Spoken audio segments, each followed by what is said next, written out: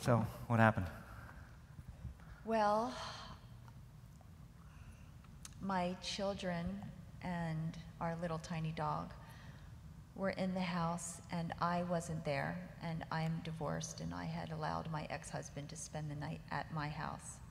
And he thinks he left the toaster oven on. Hmm. And they went to school, and about an hour later, the house was in flames. Hmm. And my neighbors were screaming at the firemen to save the dog because he was actually out on the balcony. He wasn't. I don't know what happened. I know firemen are wonderful and amazing people, and they couldn't save him. And not only did the dog burn in the fire, but I found out from um, they took him without me knowing. And I'm sure they didn't mean to say this to upset me. Well, we lost everything. I mean, every. Right, so pause there. Okay. Sorry, but how do you feel right now as you talk about it? I'm looking at your book and I'm like, oh my gosh, my book even burned. Like, mm. I don't, I didn't get to finish reading your book, you know. I'll I'm, solve that easily. There you go. thank you. Thank you. One problem solved. Yes. What's next? Thank you. Okay. I So here's what I, here's what I want to do. All right. So pause right there, and everyone out there, pick an event. So we're going to be working through an event right now. So pick something that's happened to you, whether it be recently or five years ago, ten years ago, and it, we're going to again be focusing on the stories here. But just pick that event and bring that up in your mind's eye now, just for a moment. Let's let's close our eyes and take a deep breath, just for a moment, and bring that event forward in your mind's eye and just feel that in your body. Feel what's the emotion when you think about the event. Is there anxiety? Is there fear? Is there sadness? And give it a number on a 0 to 10 scale. Just pick an emotion, run the memory of the event, and give it a number. Okay? And when you have it, slowly open your eyes. And then we're going to do something, and this is one of the simplest ways to do the tapping, right? Especially in a circumstance like this. We're just going to tap and talk, right? So you can do this with a friend. You can do this with someone on the phone. You know, the, when we are expressing the things that are going on in our lives, it serves a purpose, right? The key is to express it and actually get it out of our bodies so we don't tell that same story 28 times. And who's had that experience, you know, complaining about work or whatever it is over and over and over again? with no resolution. And what we want is to not only clear that charge and that trauma from the body, but resolve it. Find some way to find some closure or some healing from it. Okay? So we're just going to tap and talk. So um, just start tapping through the points, and you can move at your own pace or you can follow me. And I want you to continue telling the story. Well, when they took the dog, um, and I finally found out where he was because we were wanting to, it was my kid's best friend. I wanted to have his ashes. They told me that um, that they baked him and mixed him with some food stuff and sent him to the Philippines to be eaten by other dogs or other animals. And I just wish they didn't tell me that because it just heartbreaking to me that they didn't save him. And I mean, the fact that my, you know, I have a 13 and 14 year old and they lost everything. I mean, just everything. So was this a phone conversation? Were you in person when they told you this? It was a phone conversation. Okay. Do you remember where you were? Yes. Okay. Where were you? I was in my office and thank God I had a client in the other room or I would have lost it. Okay. All right, so you're in your office, and what's the conversation like? Tell me how it starts.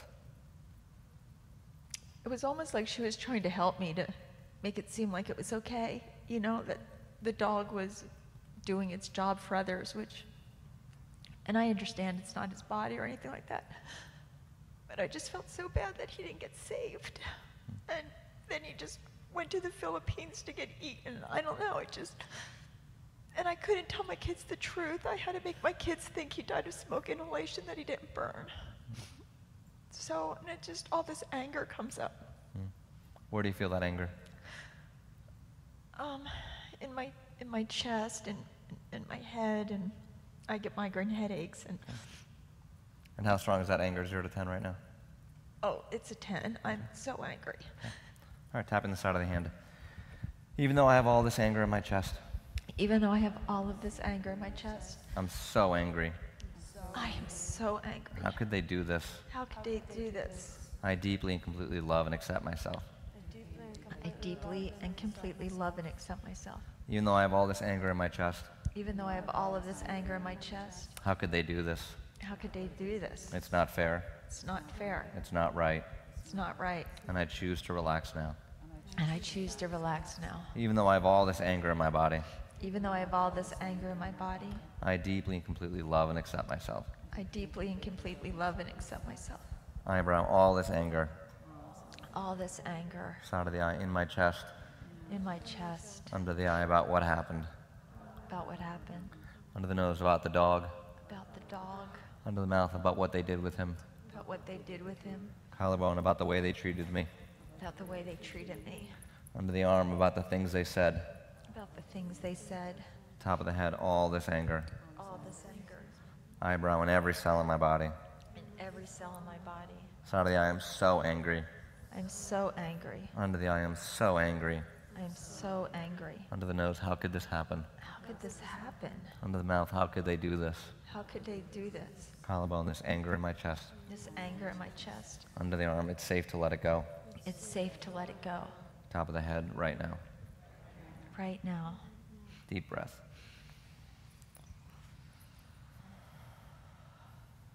And just tune back into the anger and see where it is, 0 to 10.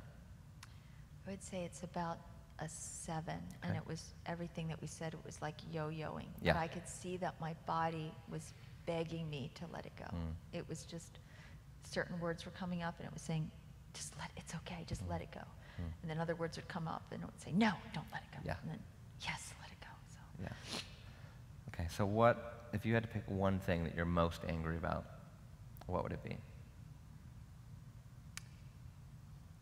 That I think the universe was telling me over and over and over again to cut ties with my ex, and because I care about my kids so much and wanted him to be with them, and then I let him in my house again, and then I did it again, and it burnt down, hmm.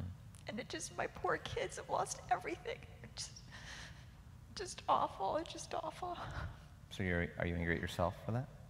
Oh, I'm so mad at myself. I'm so angry at myself. I'm just, it's, you know, when they say nice guys finish last, it was, I'm just mad that I just let him in my house again. Hmm. What's Sorry. that anger at right now, 0 to 10? Actually, when I just said it, I'm just like, oh, don't give him power. Hmm. Just let it go. Just, you know, you did what was right at the time and you did it for your kids. Tapping the side of the hand. Even though I'm angry at myself, Even though I'm angry at myself, how could I do this again? how could I do this again? I deeply and completely love and accept myself. I deeply and completely love and accept myself. Even though I have all this anger, Even though I have all this anger, I can't believe I did this again. I can't believe I did this again. I can't believe I did this again. I can't believe I did this again. If I hadn't done this, If I hadn't done this, my kids would have their house. My kids would have their house. They wouldn't have lost everything. They wouldn't have lost everything. And I'm so angry about this. And I'm so angry about this. And I deeply and completely love and accept myself. and I deeply and completely love and accept myself. Even though I have so much anger, Even though I have so much anger, how could I do this again? how can I do this again? How could I do this again? How could I do this again? I deeply and completely love and accept myself. I deeply and completely love and accept myself. Eyebrow, how could I do this again? How can I do this again? Side of the eye, how did this happen? How did this happen? Under the eye, what was I thinking? What was I thinking? Under the nose, the universe gave me signals. The universe gave me signals, Under the mouth, and I wasn't listening. and I wasn't listening. Collarbone, and I'm so angry about that. I'm so angry about that. Under the arm, all this anger. All this anger Top of the head, towards myself. toward myself, Eyebrow, towards what I did. towards what I did, Side of the eye, this anger in my body. this anger in my body. Under the eye, it's safe to let it go. Safe to let it go. Under the nose, I choose to release this anger. I choose to release this anger Under the mouth, right now. right now, Collarbone, letting it go. letting it go, Under the arm, letting all this anger go. letting all this anger go Top of the head, right now. right now. Deep breath.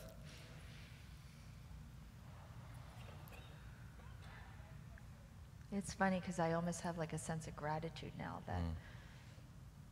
you know, it's like baptismal through fire or something, and I can just rebuild and start all over. Mm. So I would, I'm about a two. Two in anger? Mhm. Okay. Tell me about the dog again.